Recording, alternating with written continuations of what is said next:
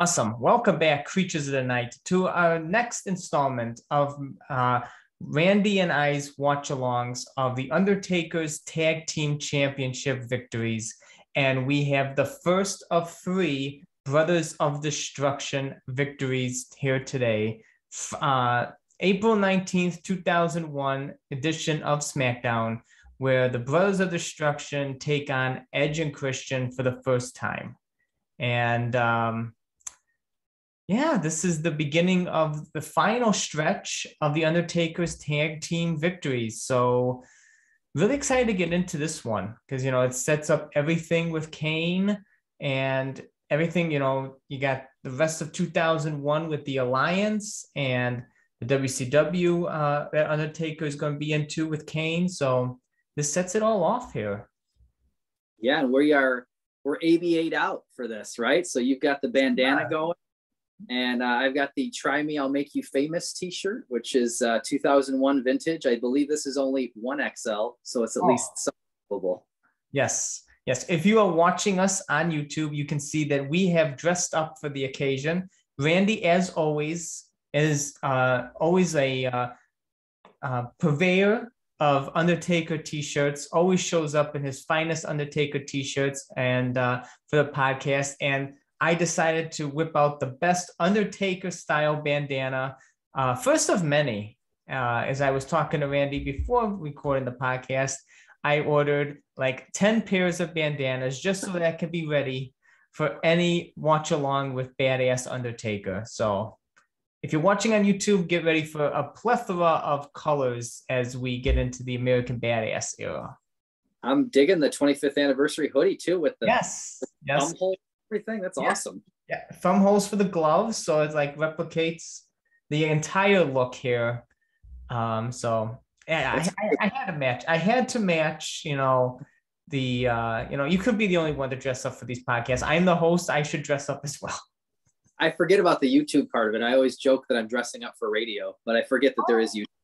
You know, probably you know people listen to us. You know, on on way to work or uh, going to be having for the holiday weekend for this episode. Right. So maybe going out of town. So there'll probably be more people listening to us than watching us. So this, sure. this week we probably are dressing up for radio. nice. Yes. Well, good. They won't know that this is a ridiculously large shirt, and I I don't know what I was thinking when I was twenty. You, you know, if, if you didn't mention it, they probably would know. But since you've mentioned it now, you know, now they just have to envision this like XL Right. Yeah, forget everything I've said. It's a schmedium. It, uh, it's very nice, very fitting. Medium. Yeah.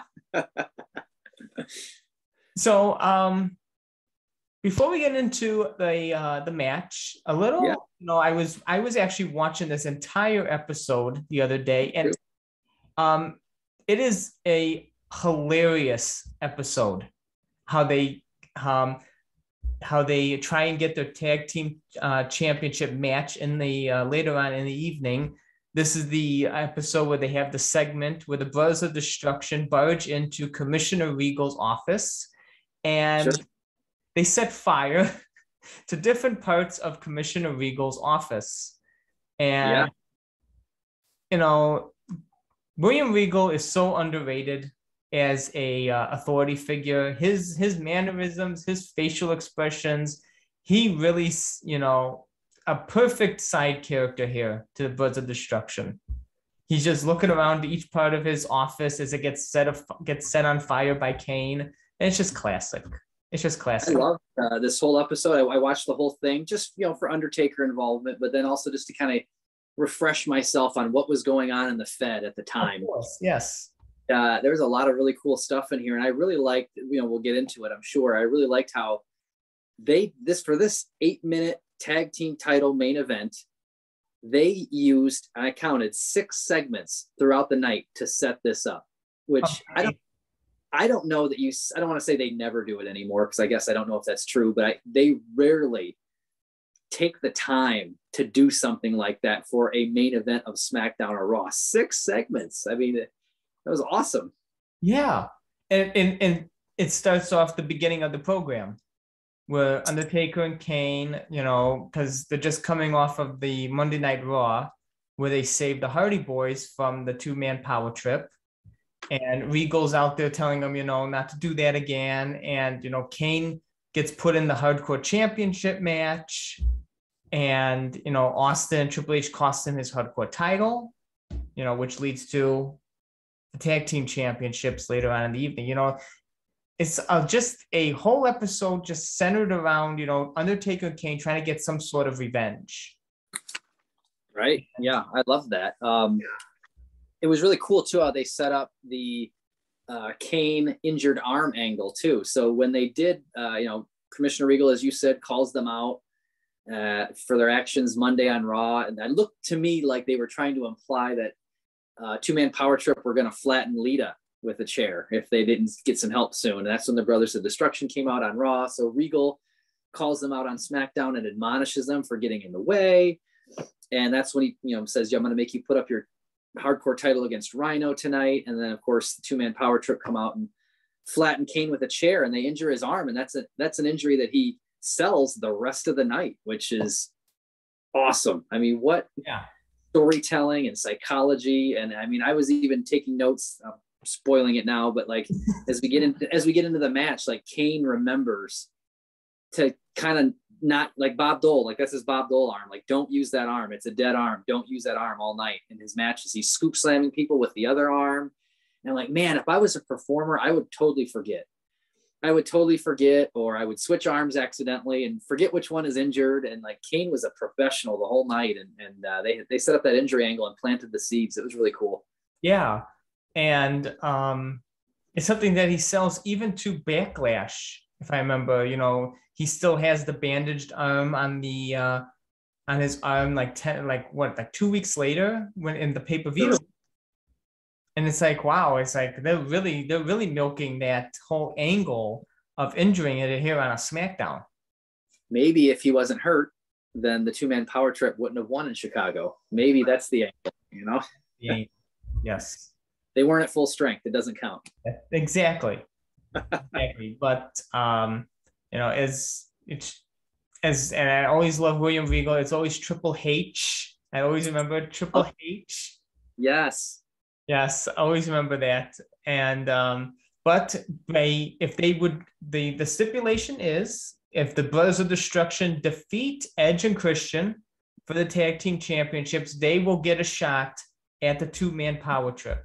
They didn't specifically say backlash because that's not really mentioned till next week's episode. Little spoiler there, but um, they get they will get their hands on the two man power trip if they are successful tonight.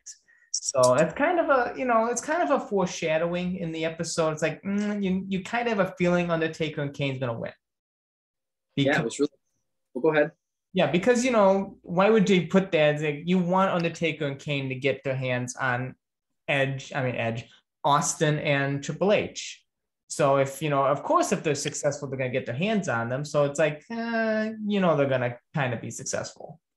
It was nice that they had Triple H and Steve Austin coming in as soon as Regal made that deal with them. You know, because Regal doesn't want to get burned alive, so he makes the deal.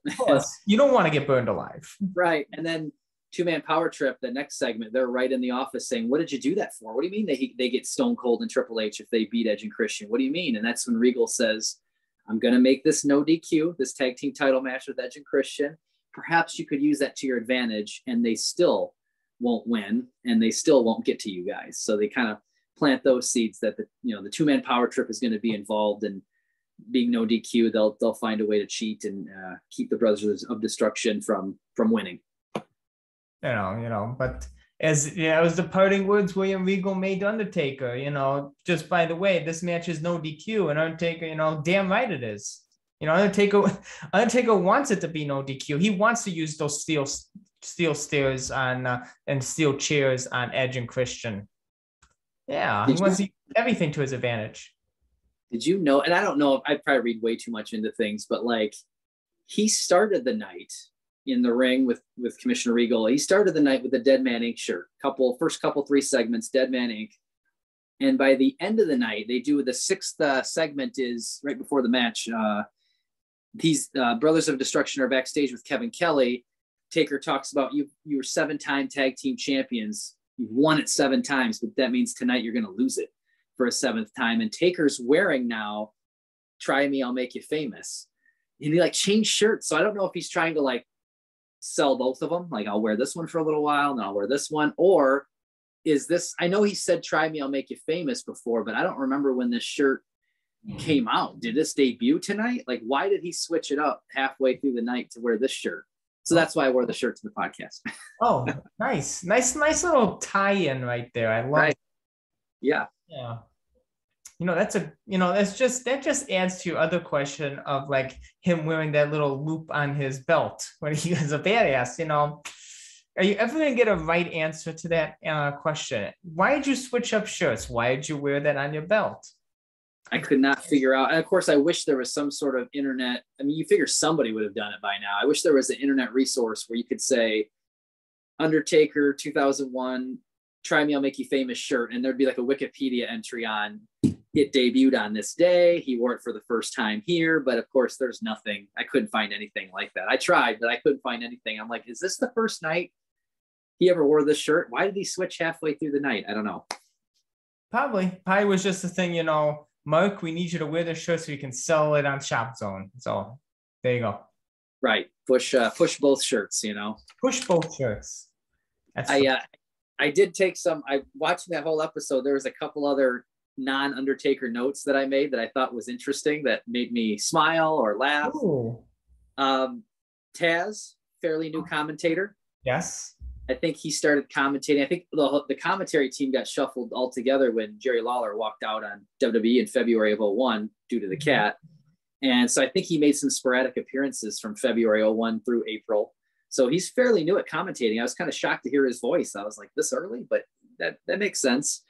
Uh, the XFL had their a couple promos for their million dollar game, mm, I saw which that. is like, that's like their Super Bowl, right? And uh, so I thought that was interesting because I remember they started their season. I thought they started it in February of 01, and this is April of 01. So you're talking like six weeks later, they're already like doing their Super Bowl. Like that's a quick season. I don't remember being that quick, but apparently it was. Um, WWF The Music Volume 5 had a promo during Eddie Guerrero's entrance because his song is on there. And I always remember that CD for the Rock and Slick Rick singing about Poontang Pie, which I don't think would probably get over in 2021.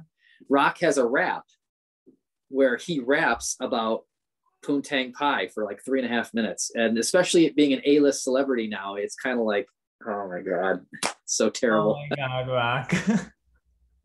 but it's out, it's out there. Uh, that that immediately when I saw that promo for Volume Five, that's what I was uh, I was thinking of. And they did have the uh, the Lugz boot of the week. Week. I don't know if you remember Lugz. Oh, yes, of course. The Lugz boot of the week was uh, Linda booting Vince in the Family Jewels at WrestleMania 17. So that was the Lugz uh, boot of the week. Yes. Which, and then, which happened like two weeks prior, I think. So right, but even this week, it was the Lugz boot of two weeks ago. I don't yeah. know. and then the, the weirdest one that I found, and, and you'll have to double check me on this, and I, I took a screenshot. I'll have to put it up on my social media or hit you with it. Just, just people feel free to verify that I'm not crazy. Okay. So there's this segment with Vince and Shane in the ring, right? Yes, with Big Show. And Vince is, you know, he's convinced, ah, pun intended, he's Vince is convinced that Shane, obviously, he bought WCW for out from under him. Shane's going to start recruiting for the alliance or what's going to be the alliance. He's going to start recruiting WWF guys to WCW. And he feels like the first one is the big show. So he says, We're not going to do this all secretive and clandestine. I'm going to bring Big Show out to the ring right now. We're going to have it out publicly, all three of us. So Big Show comes out, you know, gets over the climbs over the top rope, and he doesn't greet Vince, but he greets Shane to sell mm. the fact that you know him and Shane are in cahoots and like hoots. Yeah, I can't I can't tell if they're trying to do like the Hollywood greeting, like where you like do the old double cheek kiss, or if they're trying to like maybe like you ever get stuck with somebody doing like between like the hug and the handshake and you don't know which one we're doing, you know, so you kind of dance a little bit. But I swear to God, Big Show and Shane kiss on the lips. Like when they're greeting each other, they kiss on the lips. And not there's anything wrong with that, but for these two guys, it's really out of place and weird. And and like they never, I'm like, well, maybe like this is supposed to be like a Hollywood WCW thing, but like nobody ever did that again. And Michael Cole like no sells it. He no sells it and says like, "Oh yeah, big show, uh, big greeting there from Shane McMahon." Like he completely no sells it. Nobody talks about. And I rewound it like four times, and I'm like, "Are we just like just gonna skate over the fact that I'm pretty sure these guys just kissed on the lips? Like, what is going on with that? Like, it was the most bizarre greeting I've ever seen between two wrestlers, well, perhaps ever. At the end of this, at the end of the uh, record, uh, recording of the match, we will have to go back and watch this segment now to see if you are crazy enough. We just have yeah. to. It is. I'm ready for you. It is 42 minutes and 12 seconds. We'll do it later. We will. So anybody wants to double check me at home, 4212. Tell me, am I crazy or not? I feel like they were kissing each other on the lips. we I, I when I started this podcast, I never thought I would go back and check to see if Big Show and Shane McMahon kiss on the lips. I was just like, did they just do what I think they did? Like, what the hell was that? And oh, I just kept finding it.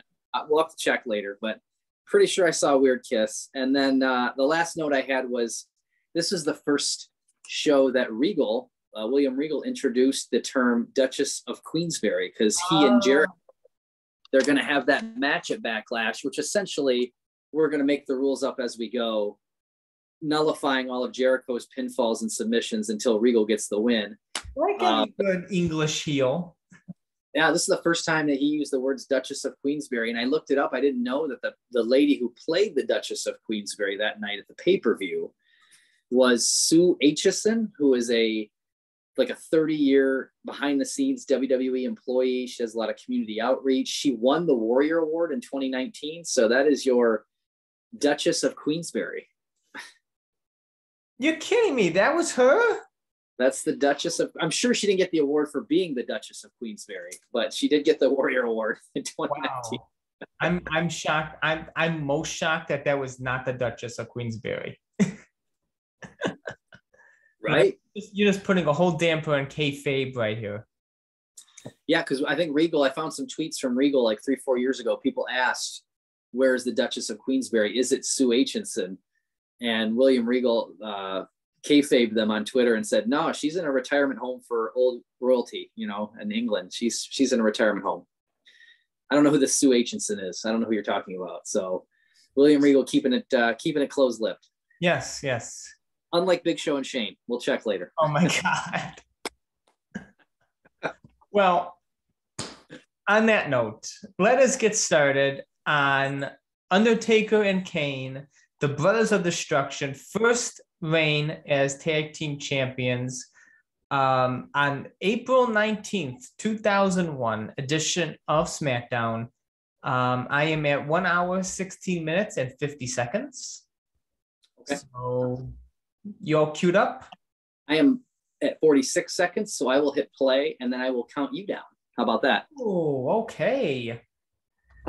Going a little different here. Ready? So I'm going to hit play in three, two, one, boom. 47, 48, 49, 50.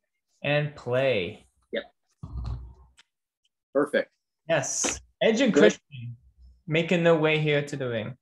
Interesting that the seven-time tag team champions are coming out first. The the not they're not coming out second. The champs are coming out first. They are heels, so they're not coming through the crowd or anything and they're bringing their friend Rhino with them because it's no DQ. And funny enough, they are seven-time tag team champions, and Undertaker will end up being a seven-time tag team champion. That's right. Eventually, yep. Yes. I loved their uh, their Charlie's Angels maroon T-shirts they were wearing earlier in the night. I, that's another T-shirt I wish I bought. Yeah, it's like a parody of Charlie's Angels. Oh, I wish I would have bought that. I remember. So I noticed here with Kane and The Undertaker coming out, no Undertaker Kane mashup yet with the music. It's still pretty early. That's right. Kane and also Kane enters first. They don't have the yeah. brothers together. Got that arm wrapped up like we were talking about. Yeah. And also, you would notice, I noticed when Kane does the pyro, he only lifts up one arm. Right? Like such a pro. I would have totally blown that and not even thought about it. Just did mm-hmm. it, you know, every night for 300 nights a year. I'm doing this. I would have not even thought about it. What a pro. There he is, yeah. summoning the streets of hell with one arm.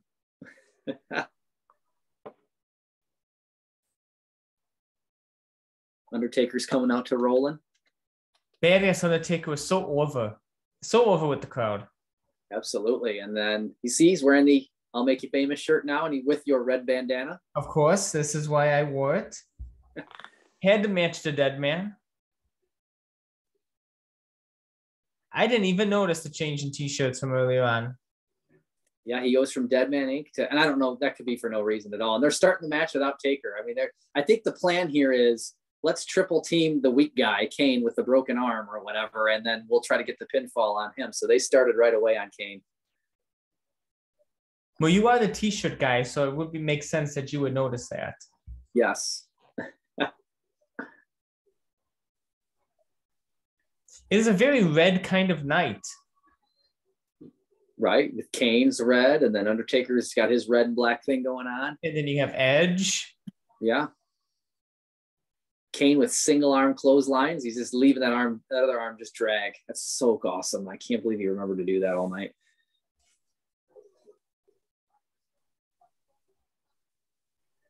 He did a earlier. He did a one arm side slam. He scooped Christian up and did a one arm side slam. It's amazing. I don't know if I'd be able to remember not to use that arm. Yeah, funny thing, I know you're talking about video games lately. That uh, Christian mesh shirt right there, that, that my Icon 2000 character I talked about in the last episode, he always had it was silver, but he always had the Christian mesh shirt. I would just change the color, but that was a staple of mine was the Christian mesh shirt. yeah, yeah. I, uh, I'm right now. I'm going through the SmackDown versus Raw series. Yeah, yeah. The trilogy I like, and then uh, probably after 09, I you know just want listening to this commentary today it reminds me so much of the Just Bring It uh, video sure. game PS2. It's like that commentary was so bad in that game, but the commentary here between Taz and Cole, it's like so bad, like that game. Right, just saying all the generic things. Yeah, all the generic things. Here we go. Now Taker's getting some shots in on the outside. Christian. Taker, I see, still has the hook on his pants, by the way, for those scoring at home. He is wearing that hook on his pants. I tried. I asked the question. Alex Dorio of Talking Taker prompted me, and I asked the question of the, the bump. I saw. I saw. Well, the, the interview is not over yet. It continues on Wednesday. Oh, does it? Oh, I didn't even get that part. I, I watched the Taker part and then I cut out. Yeah. He said they said to continue back here on Wednesday for the rest of the interview. So, oh, good. Oh, I was so mad because I asked this very creative question and will he remember anything? And then the questions they used were like, what was your favorite Survivor Series moment? Like, come on, ask about the hook. ask about the hook. We, And you know what? His answers, I know what his answer would be. He's gonna be like, I don't remember doing that. Yeah. There's the hook right there. He's, uh, he's in the corner. I thought you were also going to answer, you know, why did you only bang your, you know, chest twice and hit your leg? I should have done that. Yeah. Uh, you know, that's I was hard to do. That's harder to do over Twitter, though. It's harder to show. I, I did include a screenshot of the. If anybody didn't see the tweet, I did include a, a screenshot of the hook with it circled, so they would know what I'm talking about. But it's it's hard to show them like. I know.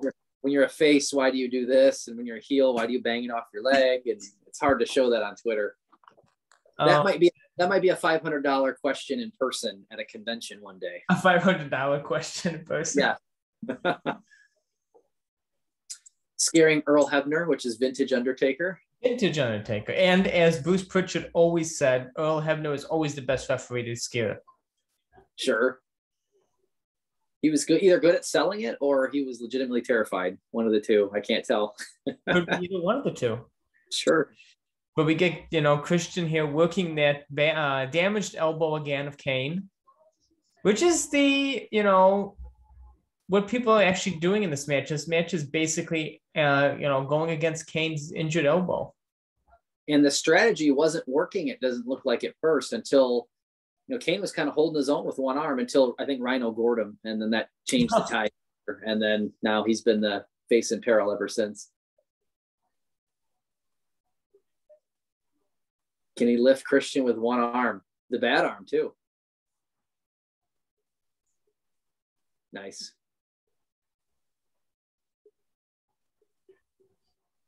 Undertaker is just waiting for that tag, waiting for that hot tag out here. Yeah, he's almost going crazy, like on that uh, internet uh, that gift. If you ever see that I GIF, was gonna mention that. Him in the He's- house show going nuts. he's going corner to corner, splashing water on himself. Yeah, Yes. he's almost doing that.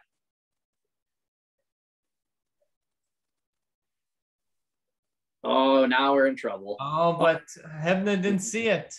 He didn't see the tag. Oh no. And the boo birds are out in Nashville. Everybody's booing it. Of course. Heels can get away with that, but not faces. Yeah.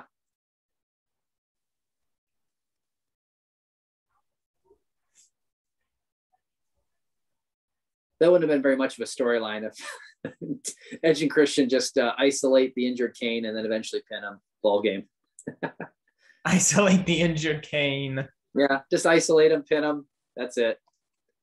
No pay per view.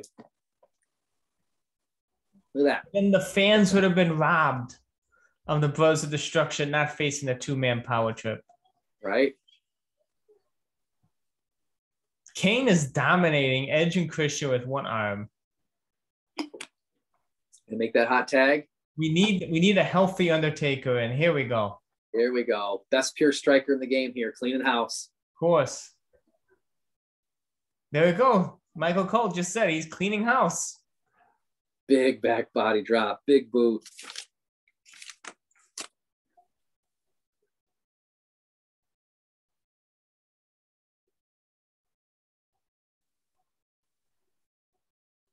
Undertaker's just like if this is no mercy, he's got a special. Like he's Oh, I just un- I know. He's got a special already. He's going to use that that signature taunt. Charter member of Dead Man Inc. That sign in the crowd. oh here comes Rhino with the chair. Remember, it's no DQ. Just seems like it's going to be a numbers game with Rhino and Austin and Triple H eventually coming down. You got to feel and Oh, then you got like five on two. right.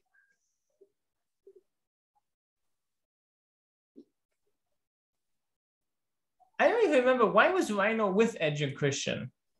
I think that they were uh they're like Rhino's from Michigan, so like does a lot of like Canadian wrestling. I think he trained and did a lot of like Canadian wrestling with Edge and Christian. They're actual friends, so they just kind of paired them together. You know, Wow. he was he was their guy uh, WrestleMania 17. Like Oh, each team had an extra: Lita, Spike Dudley, Rhino. Rhino. Yeah, It's like it doesn't go together at all. It's like Lita, Spike Dudley, Rhino. this guy that you knew before. Oh, and here's the two man power trip. power trip that and two man power trip don't even bother to go in there and attack the Undertaker. Not even helping out Edge and Christian to attack Undertaker. They're just wiping out Kane. I, I loved when Austin had these. Uh, he's taking his belt off there. He's going to take him to the woodshed here. But uh, I love when Austin had the colored knee braces back then. He had the white ones and the camouflage ones. And oh, Oh, oh, fail Concerto. Oh, here it goes. A second wind for the Undertaker. Talking Taker always points out that Christian takes the most last rides, and here he is. He takes the best last rides. He does. One, two, new champions. Where they don't get to celebrate. No, they don't. because here comes For the Steve Austin, Triple H. Oh, for the fifth time tag team champion. Yep, they are tag team. uh, he's a tag team champion for the fifth time. And I looked it up. Kane is a tag team champion for the fifth time. So very similar to last month when Undertaker and Rock were both four time champs, not Yeah. together, but individually. Mhm. First time together, but fifth time for Kane and fifth time for Taker. How weird is that? Funny, yeah, and that it, that will continue for the next twice because when Undertaker is six, Kane is six. Undertaker seven, Kane seven. Absolutely. It, it, it, matches up for the next couple uh next couple outings here.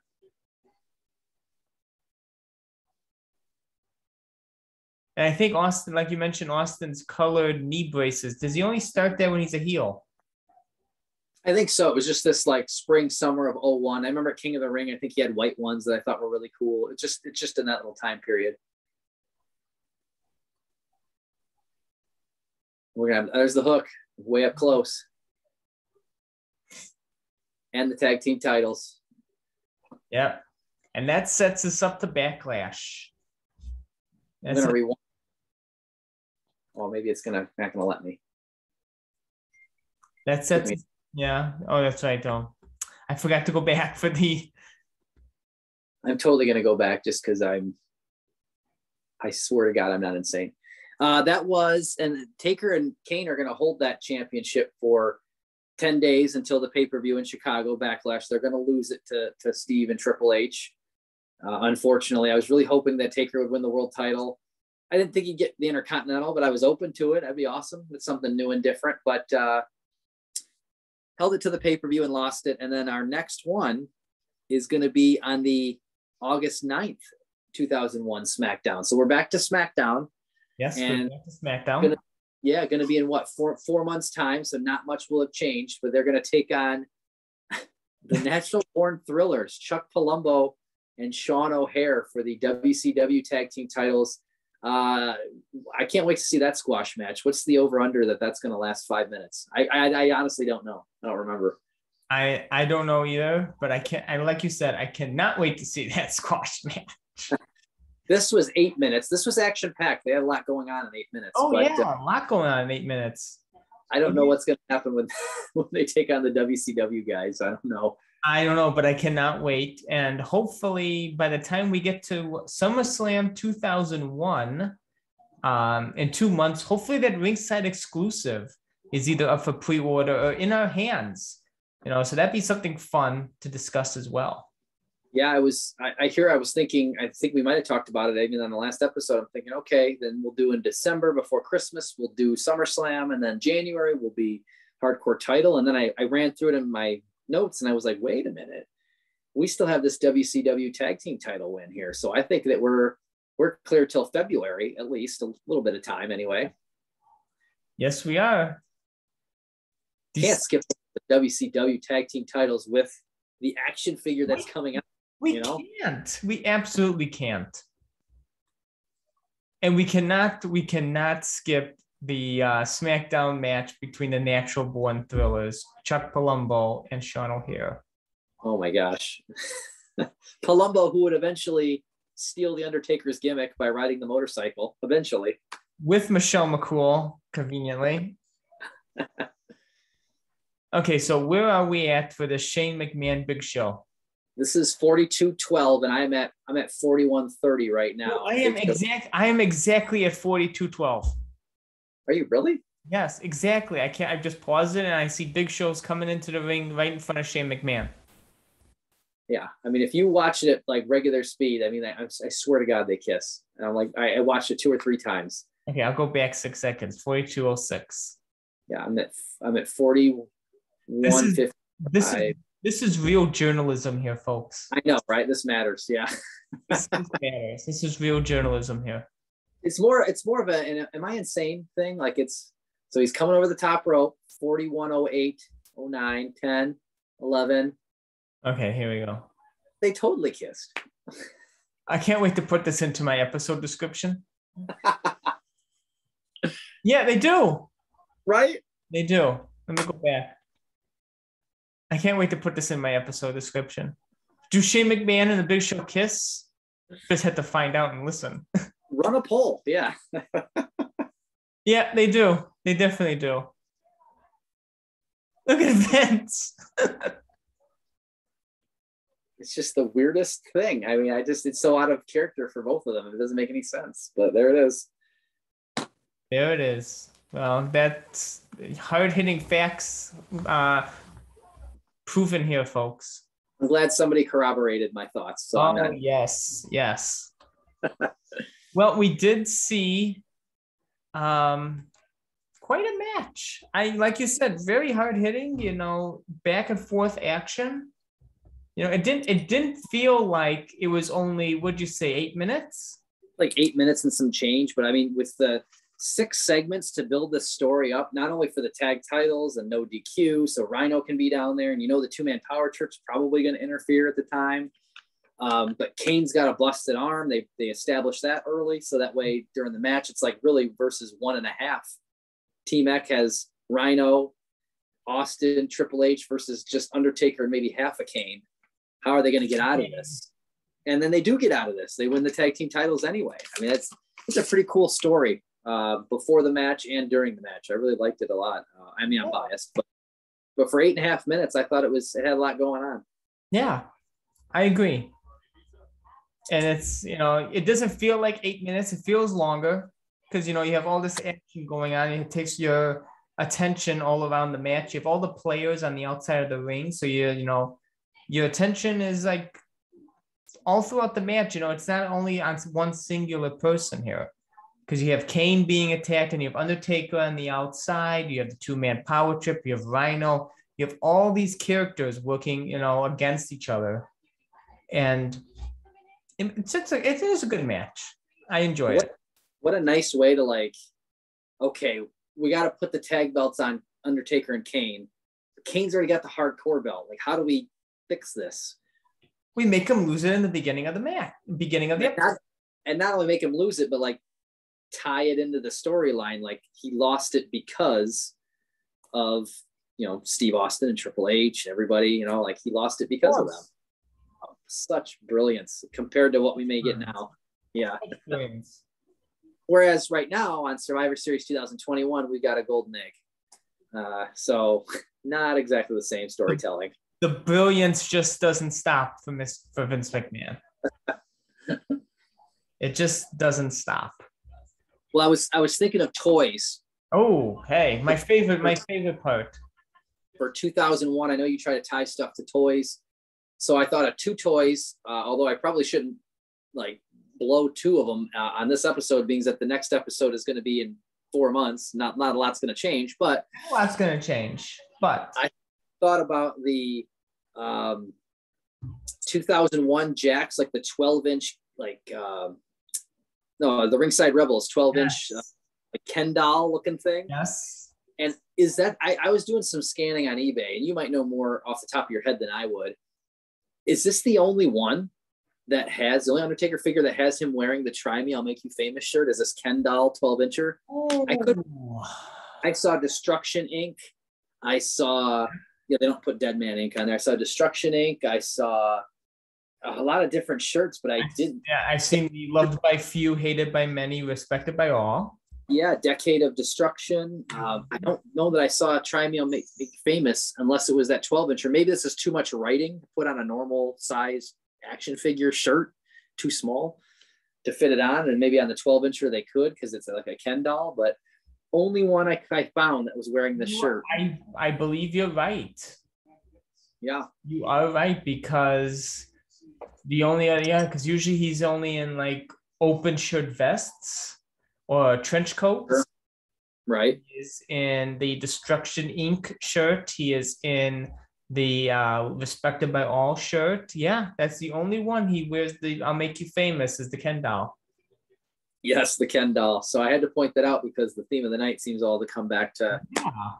this shirt. So uh, the other one I, I, laughed at was the Jakks uh, Series 12. The he's wearing the Decade of Destruction shirt, but yeah, I thought it was funny that 2001 Undertaker comes with that smoking skull belt, which is not even a thing yeah. in 2001 and there is a variant. He comes with oh. he is comes with stone cold steve austin's vest. Really? I didn't know that either. Yeah that's the one I, i'm looking for that one actually because it's i think it's like a harken to when he takes over austin's um, locker room. Okay. Once oh yeah. one episode of smackdown or raw he like yeah. takes over the locker room and he starts wearing his vest and drinking his beers and everything like that so it's like a variant instead of the belt, you get the vest. So that's kind of cool. I'll have to look up that variant just to see it. But I did see the smoking skull belt, which I was like, yeah. this is like that's like 1998. Why why is this on a 2001 toy?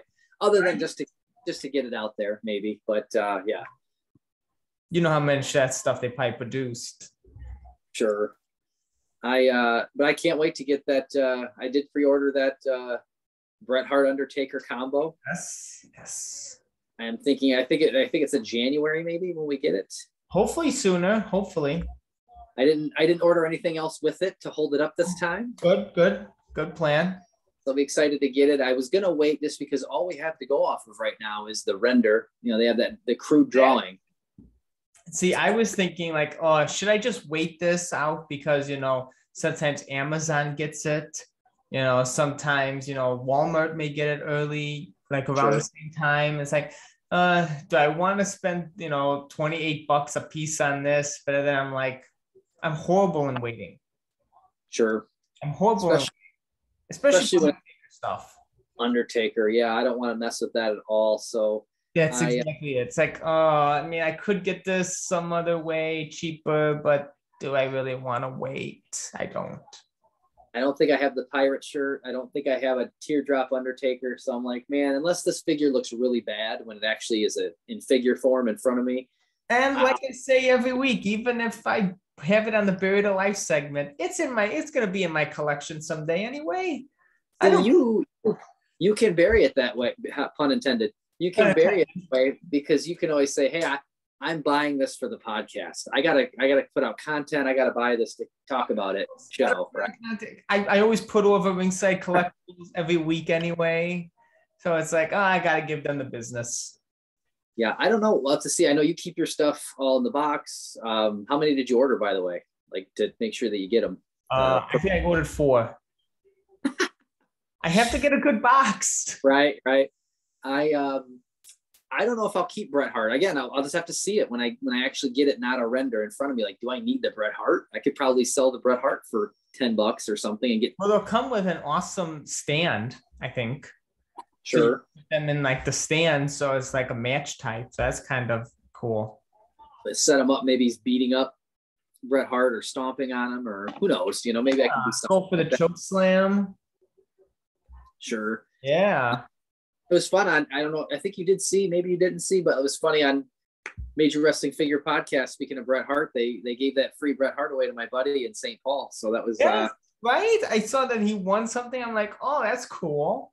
That Survivor Series Bret Hart. Uh, I don't I don't know if it's controversial face or just doesn't look like him or something like that. But they, uh, I you know, I think we all kind of retweet once in a while. I tend to only retweet when it's something I want, like the Undertaker, you know. But they gave it to my buddy. They didn't pronounce his name right, Nick Fugati. That's not his name, but that's fine. Uh, I, I knew exactly.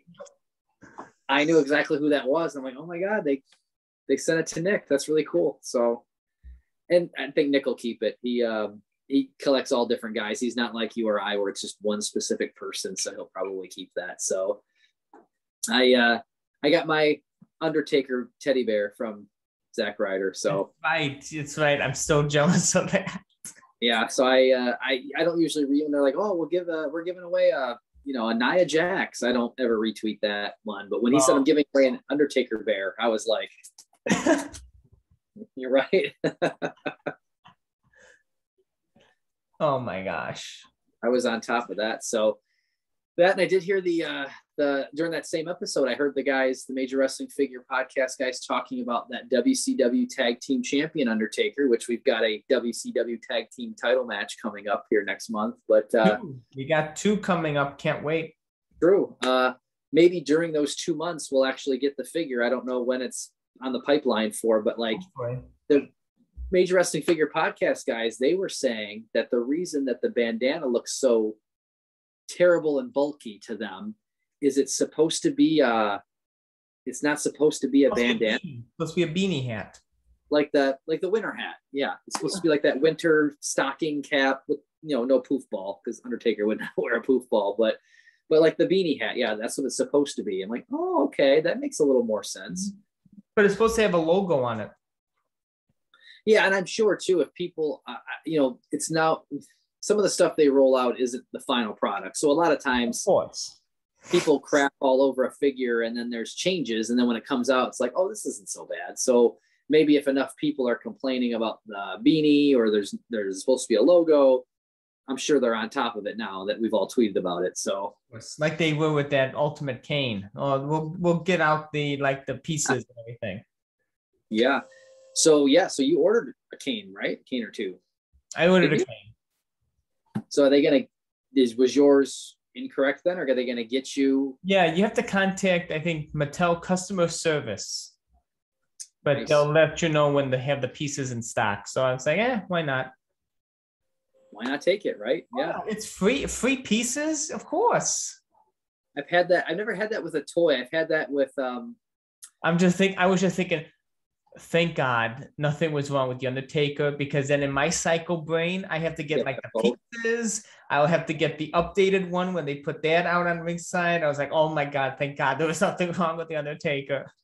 Yeah, yeah. You know, like, it would be like a variant in your eyes. Oh have... yes. And I feel so bad for Kane and I 10. He's got to get the the updated one. He's got to get the pieces in the baggie. And I'm like, thank God I'm not you. right.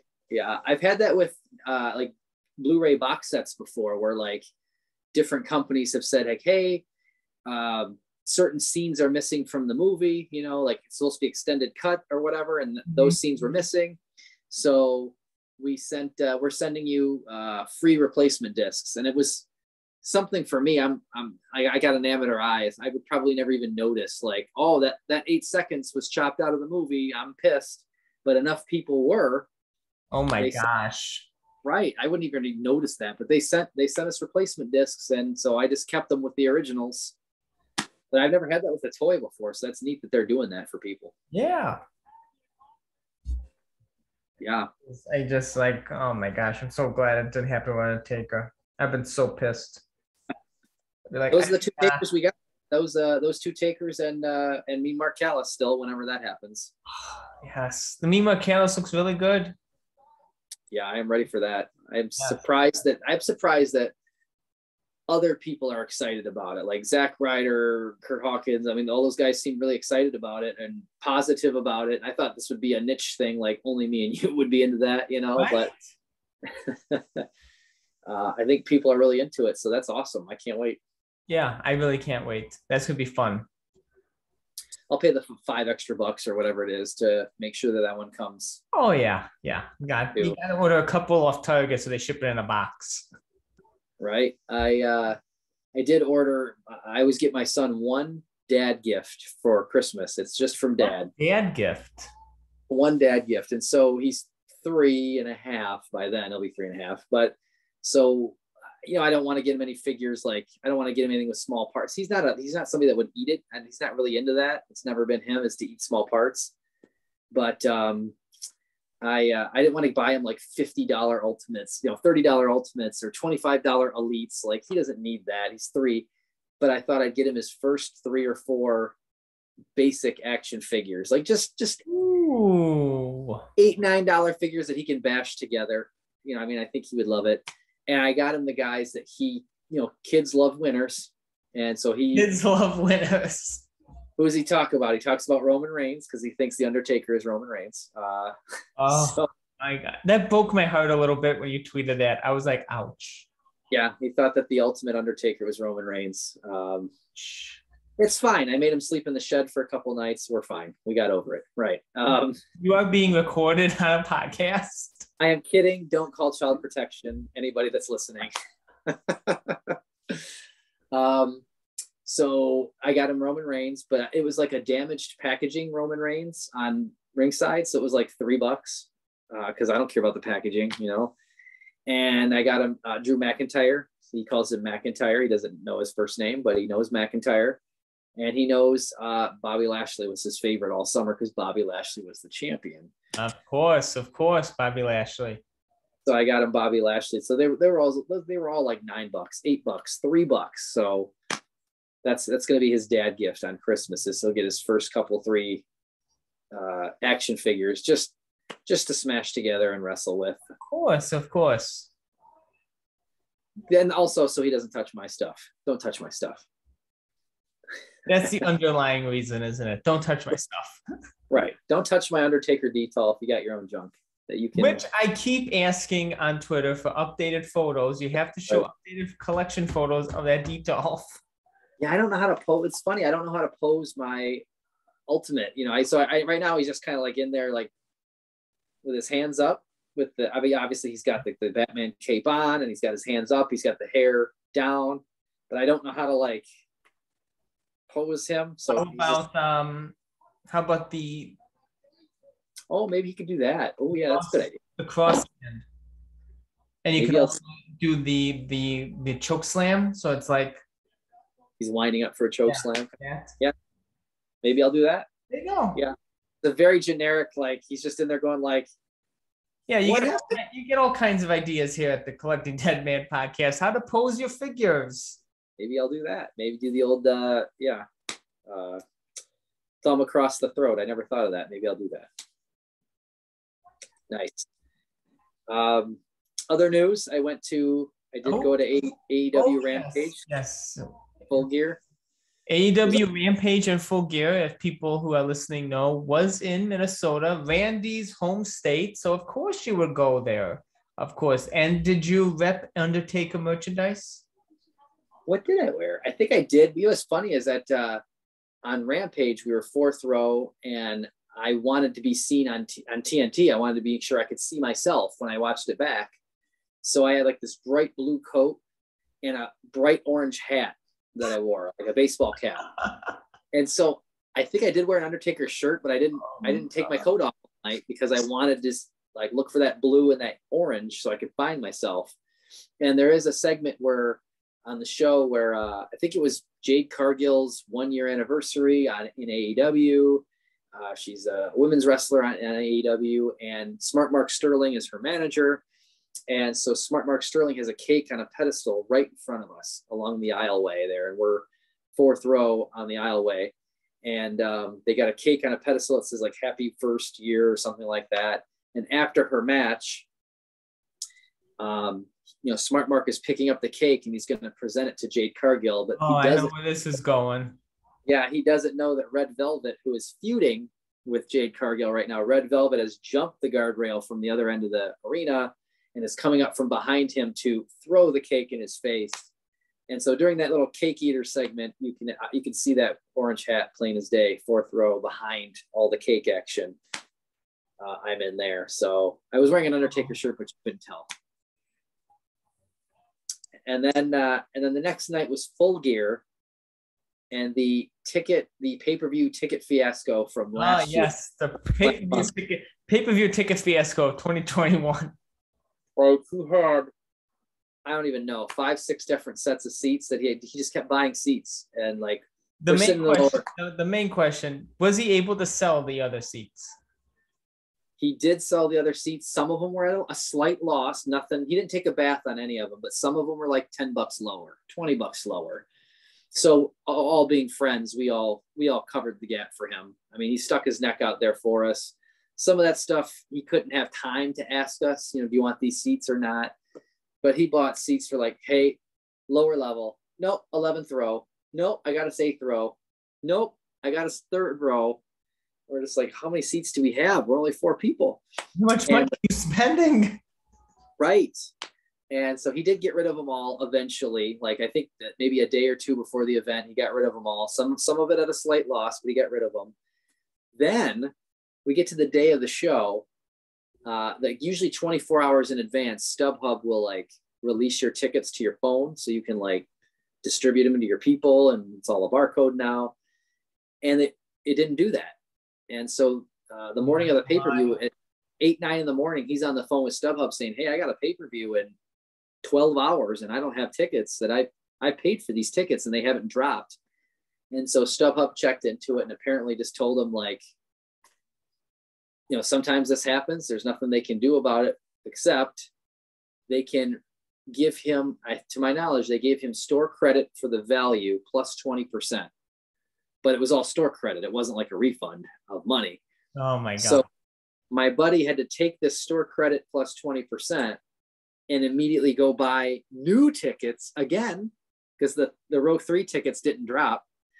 And so he, the best he could do this late in the game was third row again, but we were in there two of us were on one side of the ring two of us were on the other side of the ring we were going to have to split up And we're like, hey man, whatever you got to do. And he's like, okay, we're in different sections than we originally were going to be, but we're in the third row still. Okay, cool.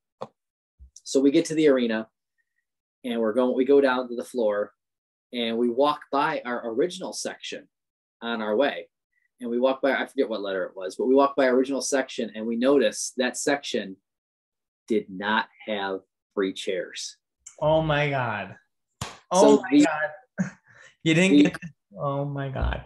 The original section, it was like a happy accident because the original section that was supposed to, if those tickets would have dropped, we would have paid all that money for third row and got rid of all of our other tickets at a loss for these chairs that would have not happened. They were all plain chairs in that section.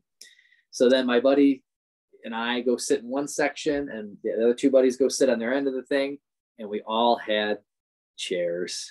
We all got chairs. I feel like we should like pipe in the WWE Hall of Fame music. Dun, dun, dun, dun, I think you know what I, I'll look for it. I think I'll add it in. Dun, dun, dun. Like the finally got my chair. Oh my gosh. Oh yes, for the YouTube audience. Yes. Oh, that's great. Gosh, it was worth it.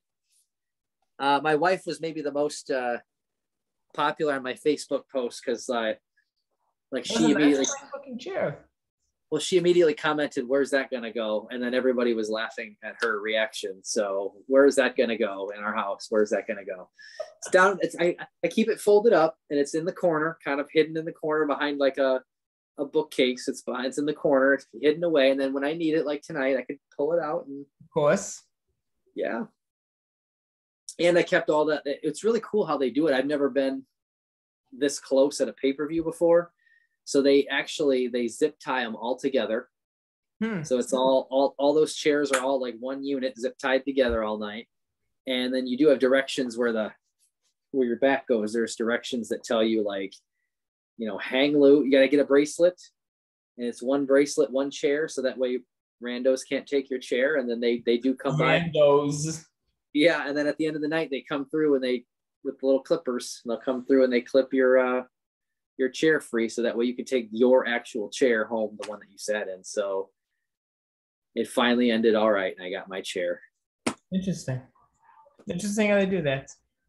Yeah, I never been that close before. And then during the during the street fight with uh, they had a street fight, a Minneapolis street fight with uh, well, Minneapolis street fight which you know I don't know what the difference is. Maybe it was colder. I don't know. I, I, don't know what you know. There's a Chicago street fight. You know the LOD had that WrestleMania 13. You know, I know yeah. Punk I think had a Chicago street fight against Jericho in some pay per view, but Minneapolis yeah, street fight. You know, it's it's rougher. It's rougher Minneapolis. Yeah, colder. It was uh, Jericho's inner circle group going up against the America's Top Team, which is a bunch of UFC guys with Dan Lambert and um, Men of the Year tag team with Ethan Page and Scorpio Sky. And there's like, it's like four on four and it's just like chaos everywhere. They're all splitting off and they got chairs and toys and they're hitting each other. And the really cool thing was, is during that match, um, we felt like there was a couple independent wrestlers that were sat in front of us. Yeah. Before, before the entrances. It's almost like they were supposed to catch somebody. Like we kind of felt like something was going to go down. And sure enough, during the match, uh, Santana of the Inner Circle and Ethan Page of Men of the Year were fighting out near us. He throws Ethan Page into the second and third row, which is right in front of us. And then uh, and then Santana's like, move. He said, move. I think he yelled move a couple times before he ran the length of the ring and then dove over the barricade into Ethan Page and in, into us basically and uh, he yelled move as if we could go anywhere all of our chairs are zip tied together like we can't go anywhere but he yelled move move and then he just dove at us and it just destroyed the whole area all the chairs were coming apart like the zip ties were breaking and stuff and so i took uh, I, don't, I don't know if you saw it or not but i took a i took a selfie with dead ethan page because ethan page is laying there all like dead and then i did see that. i remember had dead ethan page got me in the corner, like taking a selfie with dead Ethan Page behind me. It was awesome. what a moment. That's what you pay, you know, a couple hundred bucks for to get that chair and sit that close. You know, now I worry about, we said we were only doing it for Minneapolis because we're not traveling. There's no yep. hotel. We're not driving. now I worry that we're going to be chair snobs because now you're going to be chair snobs. How do we go back to sitting in the upper deck in Chicago or St. Louis or something? You know? Oh man, I don't know. I don't know. I don't know. You can't. You can't. You have to get. You have to get the uh that exclusive chair every time you want to go to a pay per view now. Oh my gosh! And I see if I get one chair, like fine. Even if I get another chair in a couple years, fine. But if I start bringing home chairs after every show, my wife is going to kill me. stack. They stack nicely. They, I mean, although I will say, if, if I ever wanted to, they on eBay, if you ever search like WWE Survivor Series 2021 chair, I mean, it's like 300 bucks, 325 bucks, 250 bucks. I'm like, you gotta ship are, that. You gotta ship that sucker. Yeah, it's like seven, probably 75 bucks to ship, I would guess. But yeah, I mean, it's like 300 bucks and people are paying for it, you know? Oh. I, I saw on the way out, people were by the door uh, of the Target hawking, Center. Were they hawking their chairs? Yep. They were like, you know, 100 bucks, 150 bucks, but you got to have cash, obviously. And, and who I already have cash. Who carries cash? You don't want to get robbed. and it brings us all full circle here, doesn't it? right? yes, it does. Yeah, so I don't know. I don't know what we'll get for a. It was a pretty good year going to the CM Punk Rampage, and then getting a chair at a pay per view in Minneapolis. Uh, I don't know what we'll get for AEW next year. I'm maybe a Dynamite. I've never oh. been to a. Dynamite. So if Minneapolis could get Dynamite next summer or something, that'd be good. And then uh, maybe I'll get a chance to go to their WrestleMania is All Out in Chicago eh, every, every September. Couldn't go this year because my wife had a, a wedding on that same weekend. I remember. So maybe she won't have a wedding this time. Maybe we can go to All Out and I can hit that up in Chicago. That'd be a pretty good year to go to a Dynamite and a, an All Out. That'd be nice. Yeah, and then we can talk about it again on the podcast. Absolutely. Definitely. Hopefully, add maybe we'll add another chair. We'll see. You got to add another chair. You can't go there and not get another chair. I told my buddy, I was like, man, if all these tickets, if this thing doesn't work out and we end up watching the pay per view at your house, because for a while he's like, dude, the tickets aren't dropping. I don't know if we're going to the pay per view. And I'm like, I will go to your house and watch the pay per view, and I will take home your couch. Like I am leaving with a chair. take home your couch. I am leaving with a chair, one way or another, on Saturday, and uh, and thankfully it happened. And like I said, the original tickets didn't have chairs. I got lucky. There's a reason for everything, as I always say. You wanted yep. a chair. You wanted a chair. You got the chair. The original tickets wouldn't have had the chair. Now you got your chair. So like, like stuff. I gotta I gotta have it. I gotta keep it, and that way when I'm gone, my son can throw it out. it's the vicious cycle of us collectors, you know. When right. we're fun, it'll just be tossed out. You know, I think I think Kurt Hawkins and uh, and uh, Matt Cardona talked about one time. Maybe when they get older, 70s or 80 years old, maybe they'll consider selling their collection off so they know that it's going somewhere loved, I guess, and, and valued. Uh, I don't know that I could do that even at 70 or maybe you change your tune at 70, but uh, maybe, I don't know. I don't know that I could do that. I, I, will probably just die with it. And then, and then my son can throw it out. it's his problem now. It's like my, my dad with all of his hunting weapons and my dad's a big hunter. And I'm like, what am I going to do with all that crap? Like, I'm just pretty much going to throw it out immediately. wow. Wow. Breaking his heart. You're breaking his heart. Good thing dad doesn't listen to podcasts. We're okay. No, listen to this one you watch.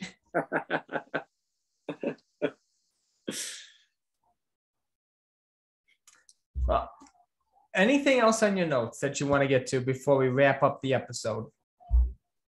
I don't think so. Uh, Big Show and uh, Shane kissing. that, that was the that was the major climax of this episode we went through the toys. We went through my AEW weekend. I think that was it. Amazing. All the build up for the match. Amazing. And you know, how can you how can you even come back from Big Show and Shane McMahon kissing? You know, that's the climax. That's what I, I think. I think that's gonna be like the the the uh, mini title of the episode. It you has, know, it has to be in that's going to be in my description too, in my tweet. It's going to be. It has to be. It has to be in my episode description, and you know, there's there's no coming back from that. There isn't. But we had we were treated to an amazing uh, SmackDown match again. I love doing these SmackDown and Raw matches because you know they're just fun. They keep your attention for like eight to ten minutes, um, and you just get like great back and forth hardcore action. And uh, are you still talking about Big Show and Shane, or no? We're not talking about Big Show and Shane McMahon. um, but I, I, like watching these, like you said, the Smackdowns and the Raws. I really like watching the whole episode too, because even if it doesn't have, I mean, I really like the six segments with the Undertaker, but even if it doesn't have anything to do with him, it's really cool to be like, oh yeah, that's what was going on at the time. Oh yeah. yeah. So I already can't wait for the August 9th SmackDown, August 9th, 2001. Yes, we'll probably see a relative squash with the uh, natural born thrillers, but what else is involved in that episode? uh, that I, we don't even remember right now. I that's that's really neat. I can't wait for that. Yeah, and we of Undertaker's seven title victories, four of them happened on a Raw or a SmackDown.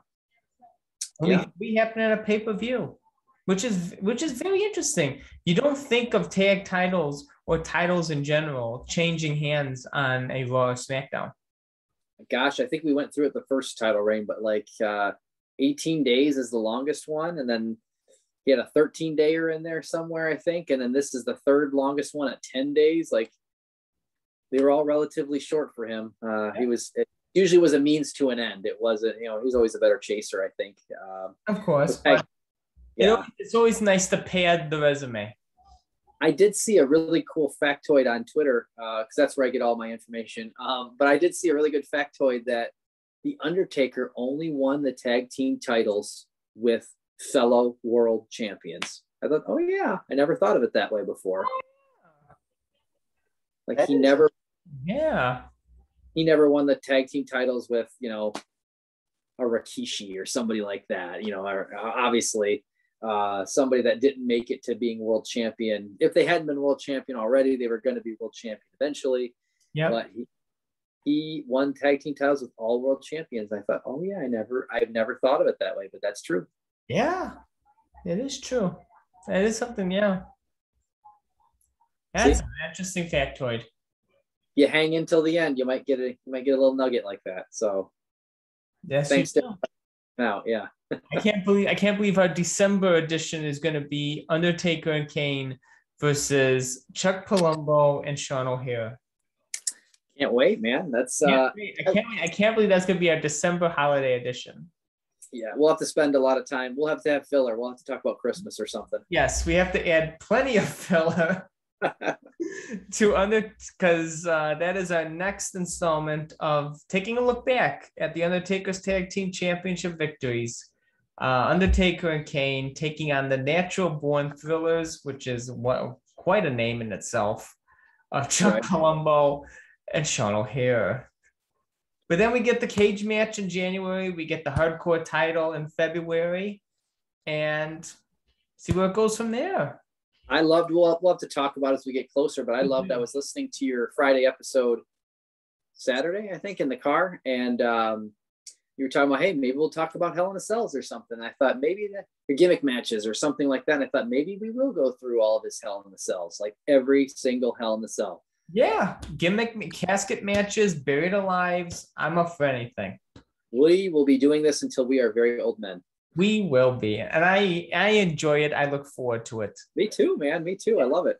Yeah, and um, so we'll keep in touch as we always do on Twitter. And until next time, with same taker time, same taker channel, we keep on rolling, baby. Thank you again, Randy. It's always fun. No problem. Thank you. Awesome. Until next month, see you later.